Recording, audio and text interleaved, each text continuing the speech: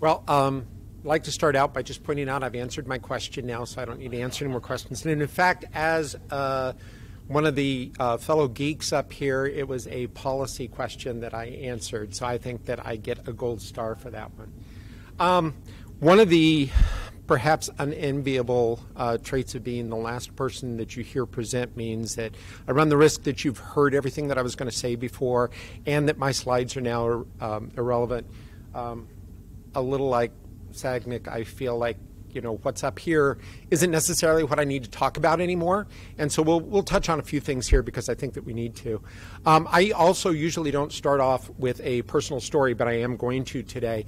Um, uh, one of the things that I think is interesting is that I feel that maybe healthcare has matured a little bit, and that nowhere today did I hear anybody compare healthcare to the banking system. And I'm glad that nobody said credit card transactions, nobody said ATMs. And if somebody did say it while I was out of the room for a minute, please give me my fantasy that nobody did. Um, instead, Dr. Clancy compared it to the travel industry. And that's where my story is too. And I think that it's interesting that we are now comparing ourselves to really uh, the travel industry. Um, so, yesterday morning, I had a commitment with the Medicaid department in Sacramento, which meant that I had to travel pretty late yesterday. I was getting on a plane at 4:30 in the afternoon out of San Francisco to come here. It meant that the plane was going to land uh, here at Dulles uh, between 12:30 uh, and 1 o'clock in the morning.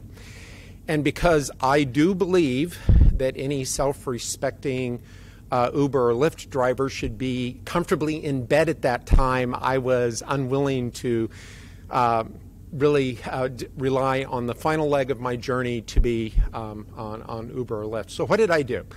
I reached out and scheduled that last leg with a uh, large entity with nationwide presence. I scheduled a shared ride van. Um, so I went to their website. I did um, uh, self-driven uh, scheduling. Yes, a little closer to uh, OpenTable than to heart surgery. But at least there was some interoperability involved there because I said, well, this is where I'm coming in. This is where I want to go. And where I want to go was the Hampton Inn in Washington. Oh, you probably mean the one on uh, n- near the convention center. Yes, that's where I want. I didn't have to give an, an address. Uh, I'm coming from San Francisco. I'm arriving at 1240 uh, in the morning. Oh, so it's United flight, blah, blah, blah. That's when you're talking about, right?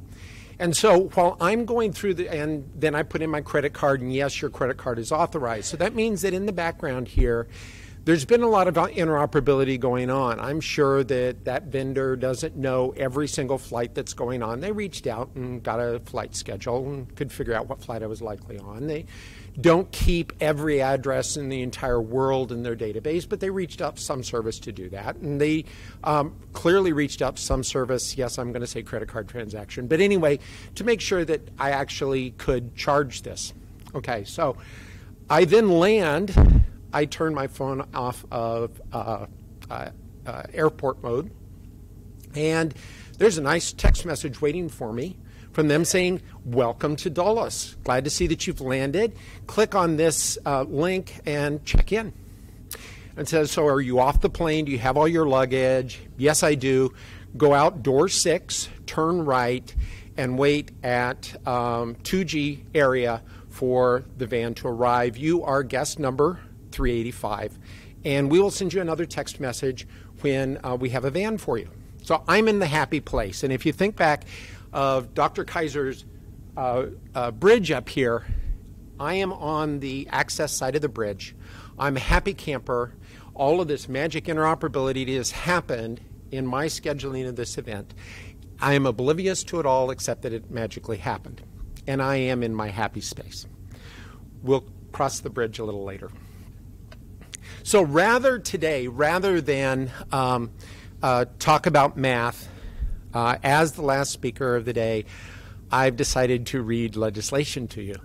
Um, and it's not because I'm enamored with legislation, but I would claim that uh, the American Recovery and Reinvestment Act probably did more to form what was going on in uh, EHR adoption and even the functionality and what EHRs look like um, than anything else that's gone on in that space. and that the 21st Century Cures Act has the potential for forming what happens in the interoperability space. And I'm not putting any judgment about whether ARRA did good things or bad things to EHR adoption or whether the 21st Century Cures Act will do good things or bad things for interoperability, but I do think that some of the things that are there um, are going to be important to us and are worth paying attention to. Um, I'm also going to point out that there must be some insecurity in the interoperability space because I, yet again, am going to define interoperability for everybody a little bit differently, but I'd say that most of us are really agreeing that it, it contains the same things. Um, in uh, Title IV, Section 4003, see, I even know those by heart. That's really scary.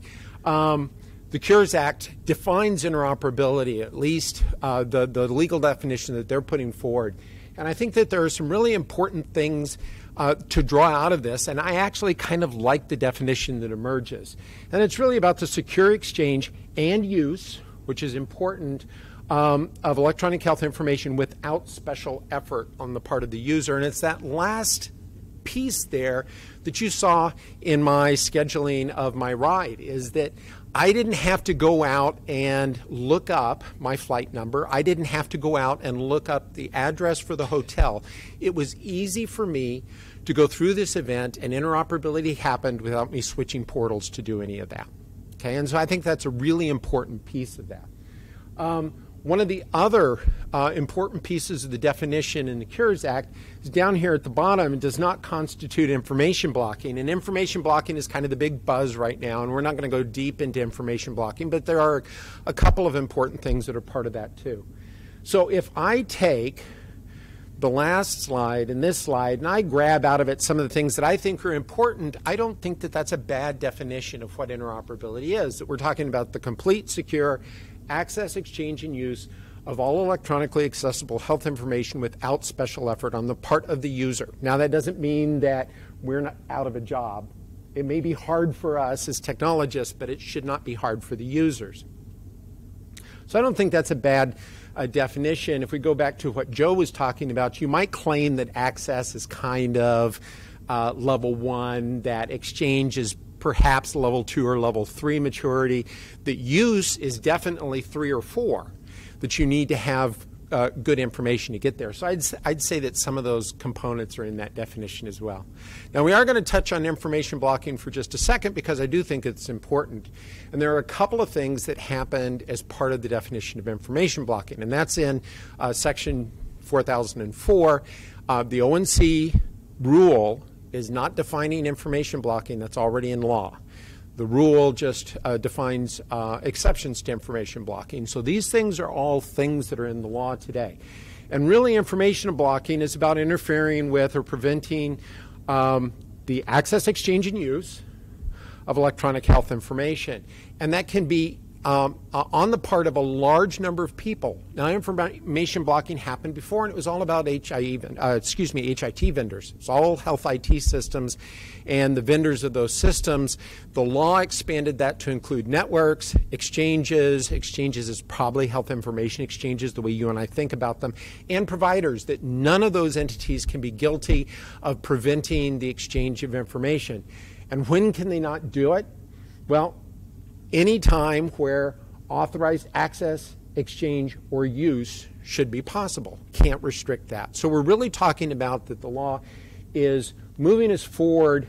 I'm going to move away from some of that other stuff. It's moving us forward to making it not only easy to be interoperable, and that's one of the requirements here, easy on the part of the user, but that HIT developers, exchanges, networks, and providers cannot discourage or restrict authorized access or impede innovations and advancements. And that's kind of my definition of interoperability based on the 21st Century Cures Act or legislation. And so I think there really are a lot of important things in there for us to, to, to bear in mind. Again, I don't think it really is different than the, the other definitions that we've uh, uh, been talking about here but I do think that you know there's there's there's some useful food for thought. Okay, now I, I won't talk about legislation anymore. Um, in theory, I'm supposed to be talking about information exchange and really what health information exchange, what that perspective is, is bringing to the table. So I'm going to lift things up a little bit. We're going to talk a little less about specific systems, but we're going to talk about the concept of moving information around. And I can't do that just because of where I live without think, talking uh, about it a little bit in the context of California. Now, you could claim that California has done some good things and some bad things, and there are plenty of bad things that have happened in the health information exchange space. Uh, and it's a strange animal today. There isn't a single statewide HIE as there are in many states. And in fact, depending on how you count, there's 15 or 18 different regional exchanges all with slightly different capabilities. But the interesting thing about that is that it provides an interesting ecosystem to explore about what's going on in the industry. As I said before, all of those exchanges have headed towards an opt out model for policy. They also have very common uh, types of data that they move around, common uh, types of participants in the exchanges. And I think that there's something that we can learn from that ecosystem that while I'm not saying that the VA needs to join uh, regional HIEs, I think that there are things to learn if interoperability is a goal. So, first of all, what is health information exchange? And one of my members pointed out to me that the whole idea of thinking about it as technology is really doing a disservice. That what HIE is probably more than anything else is some trusted forum for stakeholders to get together and try to figure out collectively how to fix a problem facing healthcare that might be fixed with data. And so you actually do see this happen as part of the governance or other mechanisms of an HIE is that you get public health and clinicians and county officials and sometimes patient advocates and payers and you get them all in the same room and say, you know, we don't know why the admission rate, the readmission rate is so high. We don't know why physicians aren't finding out about what's going on. Let's fix this with data. And so it becomes uh, the, the form in which that happens. And what I would claim is that we're really not even talking about exchange. We're again talking about access, exchange, and use. And somewhere on that continuum, that information is moving or being accessed or being used to solve the problem at hand. And that there is also utility in the maturity of moving from level one to level two to level three to level four. Some data is often better than no data at all. So let's talk a little bit about what is going on in California. Again, I think that there are some interesting things here that, that um, uh, might come out of that. Uh, first is um, who's, who's, who's uh, participating in health information exchange. These are going to be the organizations. I think it's important for them to get data because they're opening up their pocketbooks. They're paying money to be part of this system, and therefore it, it has return. So you'd expect to see hospitals at the top of the list, but second on the list are county health departments, which you might not have expected that primary care and specialists are way high on the list. As you boil on down, EMS, emergency medical services, surprisingly high on the list, given that it's a completely different setting that, that is, is going on with them. And then you get to this, I don't know, bad place in the middle where long-term care is just getting on board, but is starting to get there as well. So it's a, it's a, it's a huge variety of stakeholders here. Perhaps what's more interesting is the type of information that they're moving around.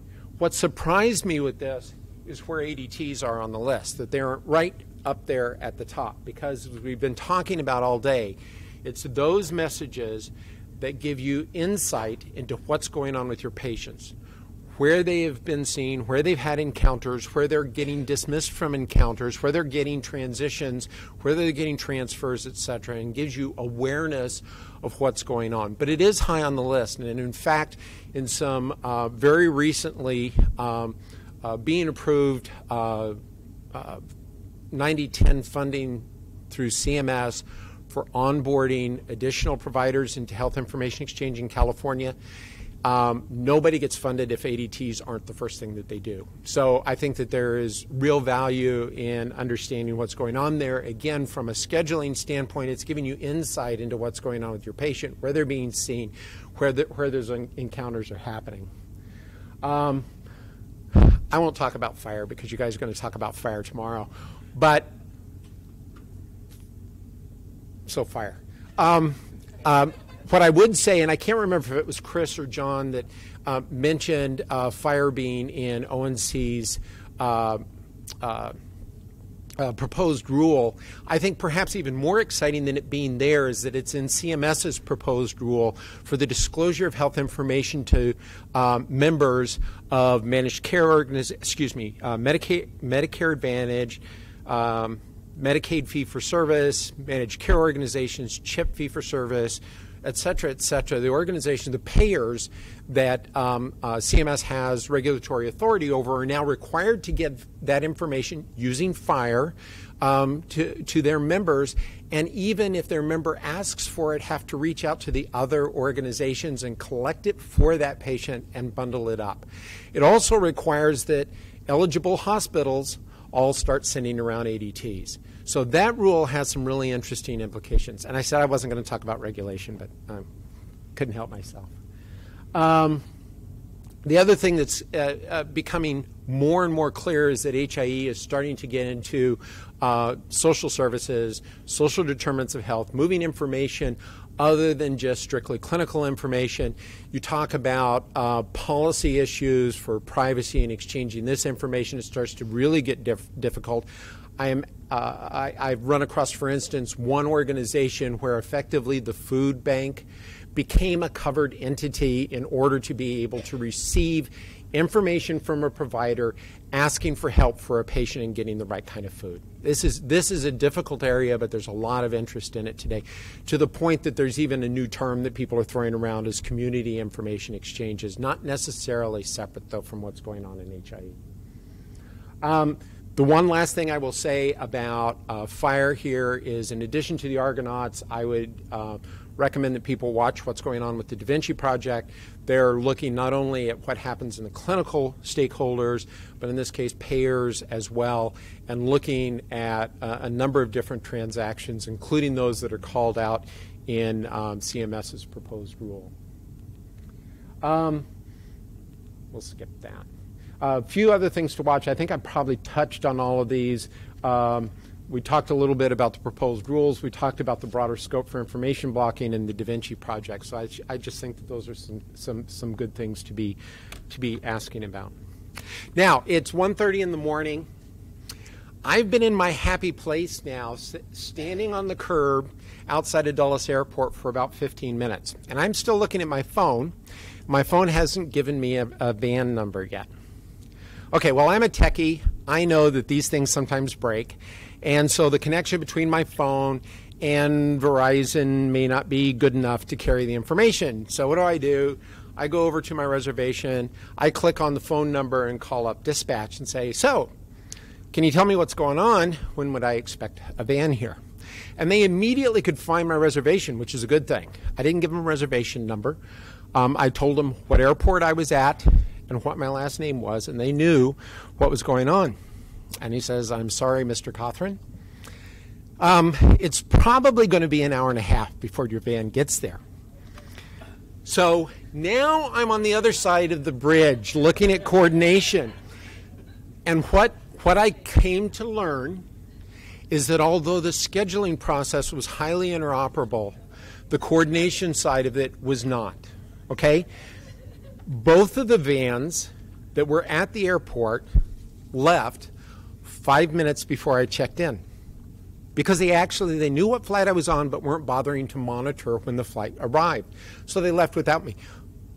Both vans did, stranding not only me but the guy standing next to me that had been there longer than I had. And uh, what I found very disturbing about the entire experience is the simplest thing for me to do was to get a refund. So this must happen all the time. So what we're seeing, at least in this case, is a really good success on the scheduling side, and then the ball dropped on the coordination side. So I think that that's something that we can't forget about. And we've said a bunch of different times here that we need to be thinking about workflow. There's an example of workflow. I'd also, I'm not going to suggest, so by the way, so I canceled my reservation. Seven minutes later, I'm in the back seat of a Lyft.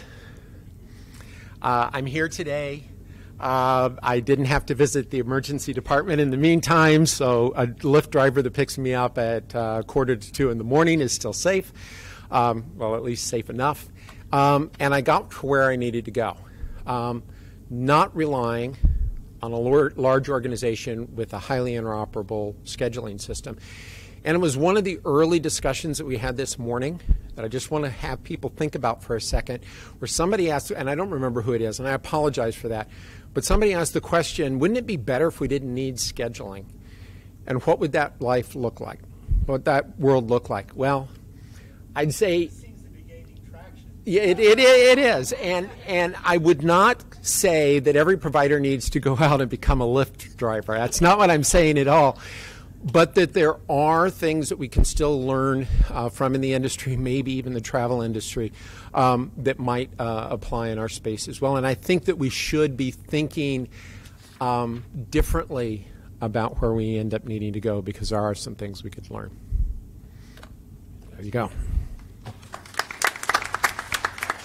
Fantastic. Any questions for Robert?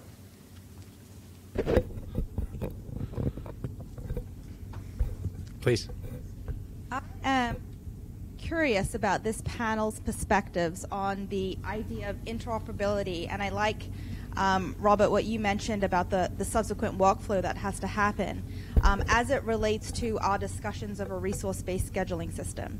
So I am going to use the context and the example of telehealth. So if you're sick of hearing that, plug your ears. Um, but at VA, it's it's complicated because we do so much of it. It could be synchronous, it could be asynchronous, it could be from one region of the country one facility within that region to a whole other facility and a whole other region. And then within that facility, a different room, a different piece of equipment. You have to make sure that equipment is functioning in still in that same room, you have to make sure that it has been IT approved in the year that it needs to be approved, and you have a memorandum of understanding and a telehealth services agreement and a, a, person if that equipment needs to be operated by a human in the case of a teleretinal imager or a teledermatology imager that will be able to be present at that time using that machine in that room. So it's complicated. Is FHIR going to solve that? So john will tell you the answer to that question tomorrow Okay.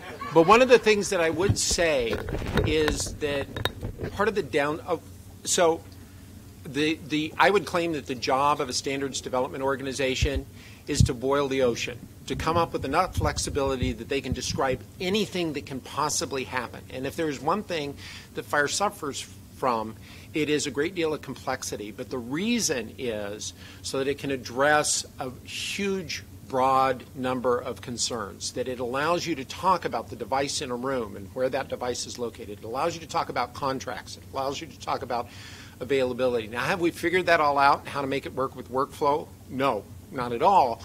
But we're starting to talk about some of the tools. At least I think we're starting to talk about some of the tools. John nodded once. I'll take that. That's good enough. Yeah. And, and, I'm going to hold you to what you said on one of your slides is that it, if it's going to work, it has to be, it has to not break the end user's back, right? right? It has to be seamless for the end user because right now we're having a lot of human input yep. into putting in these resources and making sure they're being updated, and it's a lot of effort. So it does not feel automated. You don't have to hold me to yeah. that. Congress said that. Yeah. I didn't say it. It's also expensive. It's also expensive. Yeah. Isaac. Did you want to respond? I would actually answer pretty differently. That a pretty different answer to that question. I think that the job of interoperability is cross is cross organizational, uh, you know, semantics and tactical technical uh, data exchange and and and and kind of business like process exchange.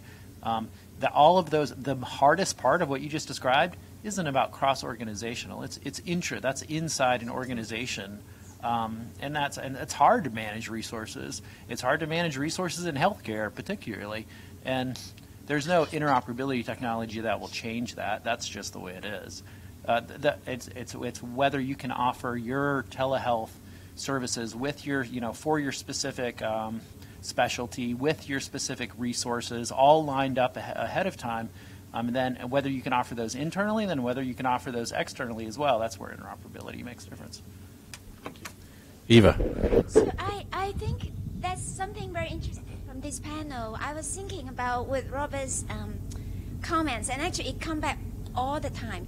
So if we look at scheduling, we automate everything right now. What is the fallback system? Right, that is actually like in our field we call survivability network.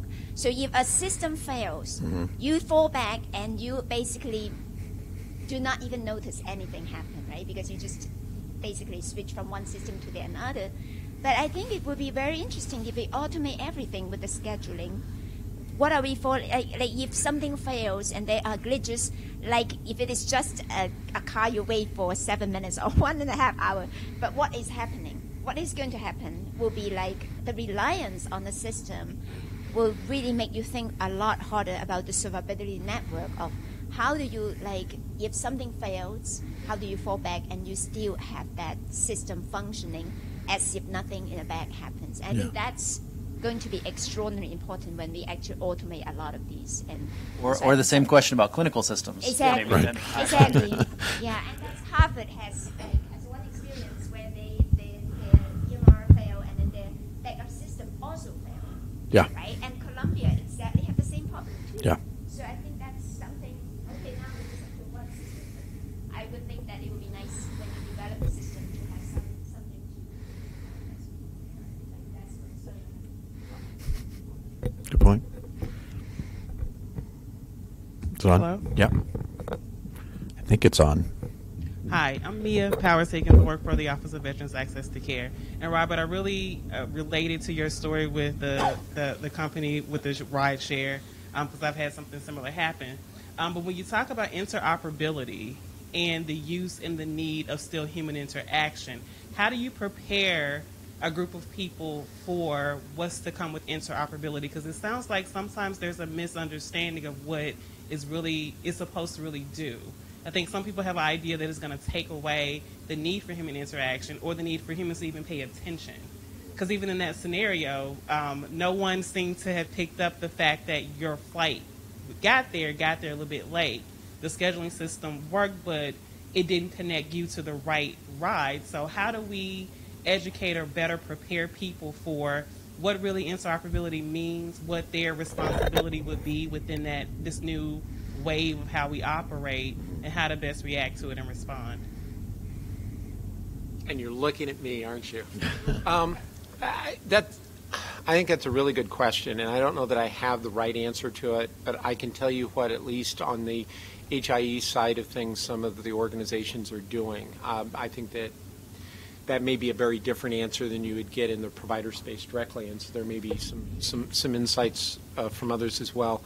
Um, really, what you're talking about is workflow redesign or something akin to it. You're talking about disrupting what's going on in the healthcare system now in order to do things better. Um, change is going to be somewhat disruptive. And so, starting to think about what the picture should look like and then how data can support it is a better way to go than bringing a technology along and look at this cool information I'm moving and now what can you do with it. One thing I will say that California has learned more than once is that if you merely bring data exchange, um, they won't come.